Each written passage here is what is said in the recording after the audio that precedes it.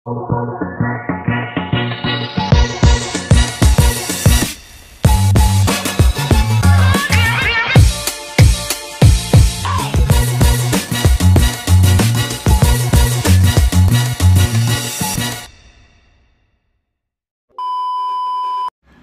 guys, so for our first problem, for the approximate analysis for statically indeterminate rigid frames, is yung approximate method for vertical loads. So for this problem, we need to determine the internal moment at point A, kung saan siya ay rigidly fixed dito, which is caused by the vertical loads as shown in the figure. So dun sa beam ED mo, you have an applied load of 5 kN per meter. And dun sa beam FC, you have there a load of 9 kN per meter. So the distance between the two columns is 8 meter. So ano nga yung mga assumption natin kapag naggagawa tayo ng uh, analysis through vertical load? So the first one, so there is zero moment in the girder. And 0.1 L from the left support. So again, sa unang video natin, di ba? So ang mangyayari lang dito guys is magkakaroon ka ng cantilever ito magiging cantilever. And then, sa ibabaw ng cantilever is may nakapatong ka na simply supported na beam. And take note that the girder does not support an axial load. Okay? So, those are the following assumption. So, yung isa naman is 0.1L lang din naman dito sa right side. Okay? So, ang ginawa ko, drawing ko na siya ng ganito. So, gumawa na ako ng free body diagram para at least hindi na masayang yung oras natin.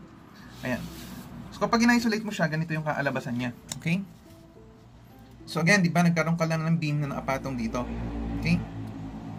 And if, you're going to analyze that separately, so ganito yung mangyayari sa kanya. So, ang ginawa ko, gumawa ko ng free body diagram na tatlo. So, disregard ko na lang tong portion na to since symmetrical naman yan. Therefore, any loads na makakompute natin dito will be just the same for this free body diagram. So, ang ginawa ko, this is free body diagram 1. Itong beam na nakapatong dito. Ayan. And then ito, that is free body diagram 2. So again, alam naman natin yung mga distance na given nito. Okay? So ito pala, binigyan ko na rin pala dito. So this distance is 0.18. And then this one is 0.1 times L, which is 8. And then this one, so that is 8 minus twice nitong dalawa. Or ang pwedeng gawin mo, that is 0.8 lang ng distance na 8. Okay? or this can be written as 0.8 of 8. So, ganun lang din naman yan. Binawasan lang ng 2.1 kaya naging 0.8. Okay? So, ang una natin gagawin is to solve for the free body diagram 1 and free body diagram 2 para mahanap natin yung reaction niya dito sa point na to. Okay? So, gawin na lang natin. Ito. Ano ito?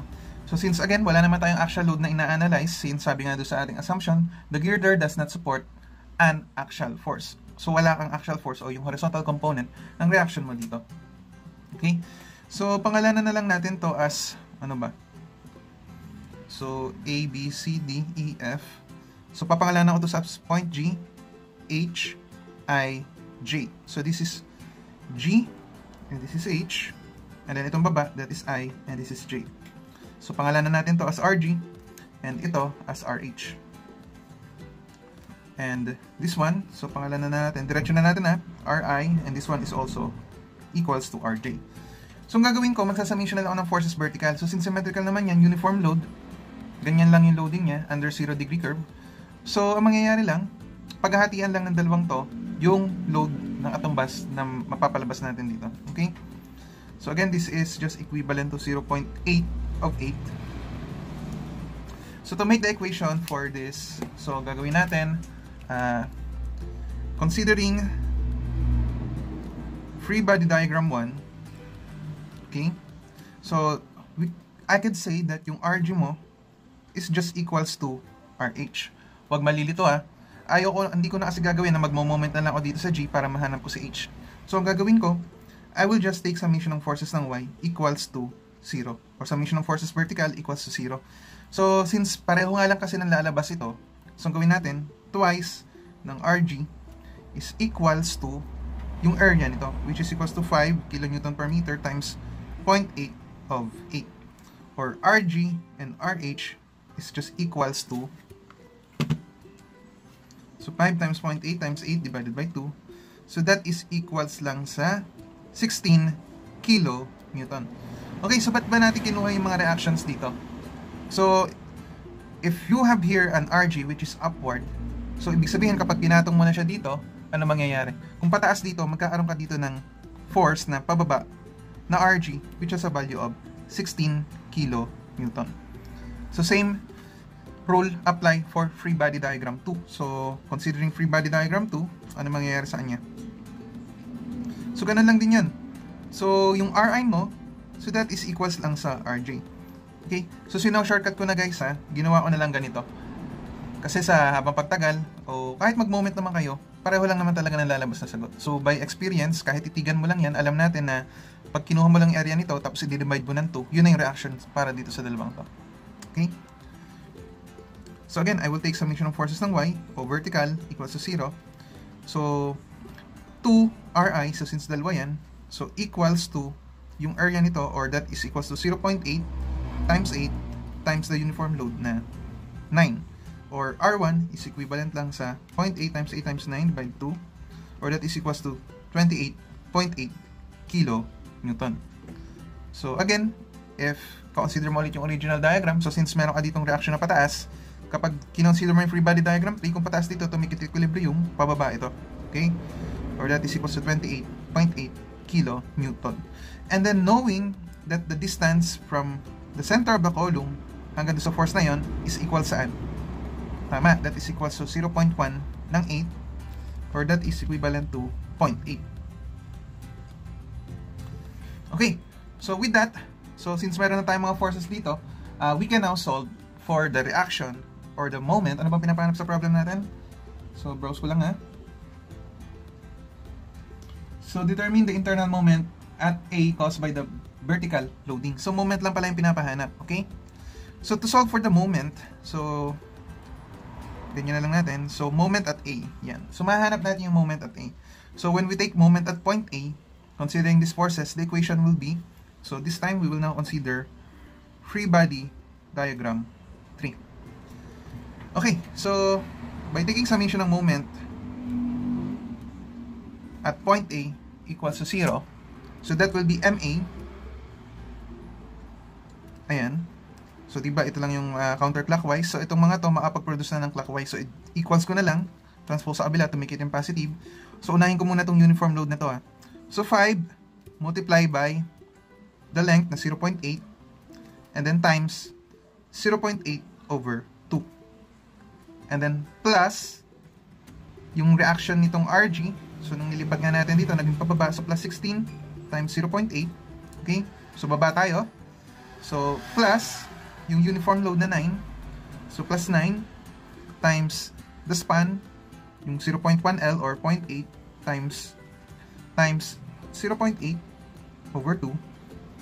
And then plus 28.8 kilonewton multiplied by the distance of 0.8. So, if you're if ipapahanap sa inyo yung moment at B, pareho lang sila ng value ng moment A. Ano? Ang mangyayari lang, pabaliktad. Ano? Or, the answer for moment at A can be solved as 5 times 0.8 squared divided 2 plus 16 times 0.8 plus 9 times 0.8 squared divided 2 plus 28.8 times 0.8. Or the answer or the moment for point A is 40.32 kilonewton meter. Okay guys, so check lang natin sa ating correction. Okay, so tama naman. So ganun lang yan. Again, step by step. Una, gagawa nga ng free body diagram. Again, ang uh, cantilever portion mo, itong part na to, so yung span niya coming from the center of the column hanggang doon sa distance na yan, that is 0.1L. Ganun lang din yung gagawin mo sa kabila. Magagawa ka ng cantilever kung saan yung length niya from the center of the column is 0.18 also. And then doon sa cantilever na mga yan, sa, sa dalawang cantilever na yan, may nakapatong sa kanya na simply supported beam. So if this is 0.1L, 0.1L, therefore the span of this is just equals to 0.8 ng L. Okay? So, next step, hatiin mo sa free body diagram and then ang unahin mo lagi is yung nakapatong na beam para mahanap mo yung reaction niya kung saan yung reaction is gagamitin mo para makuha yung moment dun sa support or dun sa fixed support which is point A. Okay? So kung dito is pataas, dito magiging pababa. Ano? And then if meron ka ng mga reaction dito, nakuha mo na yung mga reaction dito, so simply moment ka lang dito sa point A. Ano? So, ayun. So, let's solve another problem para mas maunawaan nyo. Okay guys, so for our next problem, ayan, medyo complicated lang ng konti. Pero madali lang naman to. Ano, ganun lang din yung approach mo. So, as long as alam mo yung tatlong assumption, uh, madali mo namang isosolve tong problem na to. So, for this problem, determine, so approximately, the internal moment at point A and B caused by the vertical loads. So dito sa beam IJKL mo, meron kang uniform load with a magnitude of 3 kN per meter. Dito sa beam HG, meron kang vertical loading na 5 kN per meter, uniform load. Same as for beam FE. So 5 kN per meter din. Okay, so the span of these three frames, so that is 3 at 8 meter. So the tree span has a length of 8 meter. So again, yung length mo is coming from center to center ng bawat column. So laging ganun yung assumption eh. Or laging ganun yung i-consider mo na length. Again, that is center to center ng bawat column. So kung ang ibigay sa inyo is clear distance or yung distance between the two beam, so kailangan mong i-add yung kalahati ng thickness ng column. Pwede kasi mangyari magkakaiba yung size ng column mo. Ano, and ang ibigay sa yung distance is yung clear distance na yan. Ano, hindi kasama yung gitna ng iyong column. So tandaan na, again, yung distance L is the center to center ng bawat column. Okay, so para mas madalis lang tayo, so ang ginawa ko, gumawa na ulit ako ng separate na free body diagram. Okay? So ang ginawa ko, kalahati na lang yung consider ko hanggang dito na lang. Since itong portion naman na to is just the reflection o yung mirror lang nitong portion na to. And ang pinapahanap lang din naman sa atin is yung moment at A and yung moment at point B. So ang ginawa ko, ito na lang. Ayan, so bibilang ko muna pala since nagkaroon tayo ng mga additional points. So saan tayo natapos dito? IJ, KL. So labelan natin to as point M. So this is M, this is N, this is O, P, and this is Q, this is R, this is S, and this is T. Okay guys, so ang unahin ulit natin is yung mga beam, okay? So, unahin muna natin. Okay, so... so, again, this is 8, no? So, hindi ko pa pala nasulat yung mga distances. So, ano lang natin to? So, this is point 1 ng 8. Ayan. So, ito, ganun lang din. Point 1 ng 8. And ito, this is point 8 of 8. Okay. Dito is 0.1 ng 8. Dumaan ng motor, maingay. This is 0.8 ng 8. And this is also 0.1 ng 8. Okay, so since pare-pareho lang naman sila ng span, so ito 0.1 ng 8 lang din. And then ito 0.8 ng 8 lang din. Okay? Oh. So mali pala ako ng drawing dito. So wala na to ha. So we will disregard this portion. Napasarap ako ng pagdodrawing. Okay? So, wala yan ha. So, ito lang. Okay? Buti nakita ko agad. Ano? Okay, so, ang unahin natin guys is ito. Uh, again, hati-hatiin natin siya to separate free body diagrams. But, by observation alone, uh, kung mapapansin nyo kasi, itong dalawa is pareho lang. Okay? So, ang gawin natin, isa na lang yan. Pag-isahin natin. So, that is this uh, This portion, this beam, and this beam, pangalan na natin siya as free body diagram 1. Okay? Anong ibang kulay ng ballpen eh? So ito, para dito and para dito. Okay? So next, this uh, beam, ito, so pangalanan natin siya as FBD 2. Ano ba sabi do sa assumption? Beam ako ng beam, para, pero sinabi do sa lecture is girder pala siya. Okay, so this girder is free body diagram 2. And then ito may cantilever na to, so pangalanan natin siya as FBD 3. And ito, this will be our free body diagram 4. Okay? So let's start with the uh, free body diagram 1, yung beam or yung girder na MN at saka OP. Okay? So para doon, so considering free body diagram 1. So, mangyayari lang naman dyan, that is just, ayan, drawing ko pa pala. So, we have a uniform load of 3 kN per meter and with a span of 0.8 of 8. So, this is M and this is N. Again, M and N is equals so as for O and P. Okay, so in short, Rm is equals to Rn is equals to Ro and then equals to Rp. Analysis na lang yan ha, tinititigan lang natin. Kasi since uniform loading nga lang ulit siya, na rectangular yung shape ng loading or zero degree curve, equal lang lagi yung reaction niya. Ano? So in short, kapag nag-summation tayo ng forces ng y, assuming upward direction is positive, o summation of forces vertical, so 2rm is equals to 3 times 0.8 times 8. Or rm is equivalent lang sa 3 times 0.8 times 8 divided by 2 or that is equals to 9.6 kilo Newton. Again, equals lang yung apat na yan. Okay? Next, we will now consider this free body diagram 2. Okay? So, considering free body diagram 2, so, wag na natin drawing. Ano na lang, diretso. Or just consider this beam or this girder. Okay? Beam ako ng beam eh. Okay, so in short, that is RQ is equals lang sa R sub R, okay? Or when we take summation of forces Y or summation of forces vertical equals to 0, so 2RQ is equals to 5 times 0.8 times 8.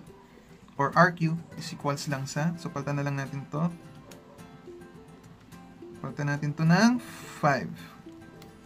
So that will be equals to 16 kilo Newton. Okay guys, so since meron na tayong R value ng RM and RQ, uh, we can now consider this cantilever portion or yung FBD4 and yung FBD3. So, alin ang gusto nyo unahin natin? Unahin muna natin to, okay? So, drawing ko na lang para hindi malito. So, ang gawin ko ano na lang ha? Uh, stick figure na lang. So, ganyan. Mm -hmm. Mm -hmm. So, you have here uniform load na 3 kN per meter And then sa ibabaw niyan, meron kang concentrated load. So ano yung nakapatong sa kanya? M. So that is 9.6. And ito, you have a uniform load of 5 kN per meter. And then a concentrated load, yung RQ, which is equivalent to 16 kN. And then yung distance niya, ayan. So this distance is equal to 0.1 of 8. So ganun lang ulit, moment tayo dito. So moment at A, so Considering moment at point A, so meron ka dito magiging reaction o internal moment yung pinapanap sa problem, moment at A, so that is equals to MA. So, since count, count clockwise na yung mga forces na yan, maproproduce na yan, so minus. So, transpose ko sa bila to make it in positive. So, let's start with 3. 3 kN per meter. So, ito, equals na lang natin para hindi mahaba sa equation. So, 0.1 times 8, so that is equals to 0.8. Kinalki talaga. So, 0.8 So, times 0.8 over 2. Okay? And then plus yung concentrated load na 9.6 times 0.8. And sa baba, meron kang 5. So, plus 5 times 0.8 times 0.8 over 2. Guys, kapag ganitong uniform load, eh, nag, nag uh, moment tayo, so tip lang, ba kasi magulat kayo kapag kay Sir Jake na. Ito kasi dinediretso na namin. Yung uniform load, multiply yung span niya, 0.8, tapos squared na lang namin over 2. So, ganun lang din naman yun, ano. So, baka lang ayaw mabigla kapag diniretso na ganito ha. So, ganun lang yan, sinimplify agad. So, diretso agad. Shortcut. Okay, so nasa na tayo. So, yung concentrated load, so plus 16, and then times 0.8. Okay, so with that, we will have the value for moment at A. So, dito ko na lang isulat. So, pinit lang natin. Kasi 3 times 0.8 square divide 2 plus 9.6 times 0.8 plus 5 times 0.8 square divide 2 plus 16 times 0.8. So, that is equivalent to 23.04 kilonewton meter. So, ito rin pa yung sagot natin kanina. And then, para sa moment B, so just take or consider this free body diagram 3. So, ang gawin ko, drawing ko na lang ulit. Again, strict figure na lang ha. Okay, so ano ba makikita natin doon? Ayan. So, meron ka ditong uniform load. So, dito, ganun din. So, ito naka-fix. Ayan, taas ko lang. So, this is point B. And then, ayan. Oops, wala na nga pala to. So, ito. Okay, so, meron ka dito na RN. So, equals nga siya sa 9.6. Ayan. And RO. So, 9.6. Actually, guys, ano to eh. Moment kasi tayo dito. Kung mapapansin mo, equal siya. Or parang magiging mangyayari, mirror siya. Or in short, di ba ito, if itong mga forces na tayo consider mo, magproproduce siya ng counterclockwise moment. And kapag itong kinonsider mo, magiging clockwise. So in short, ang pwede natin gawin dito, i-cancel na natin siya. Kasi magsisiro yan eh. Magkokontrahan sila, eh pareho lang naman sila ng value. So that is automatically equals to 0. So para hindi na humaba yung equation natin, i-cancel na agad natin yan. Okay? And then ito, so R, R. Ano ba yung R? Ayun, so 16. That is 16 kilonewton. And then, meron kang uniform load na 5 kilonewton per meter. Okay, so if that is the case, so ito, pag ganito dapat yung ating moment dito sa point B na to. Okay, so ganyan yung magiging internal force niya. Or in short, assuming that clockwise direction moment at point B is positive equals to 0, therefore the equation will be MB is equals to So again, the span of this is equals lang sa 0.8. So unahin natin yung uniform load, so that is 5 times 0.8, okay lang, squared over 2 and then plus 16 times 0.8. So equals, or that will be 5 times 0.8 squared divided 2 plus 16 times 0.8. So that is equivalent to 14.4 kilonewton meter. Okay guys, so that is the answer para do sa internal forces acting at uh, point A and point B. So next problem natin or will be all about the portal method. Okay, so see you on our next video.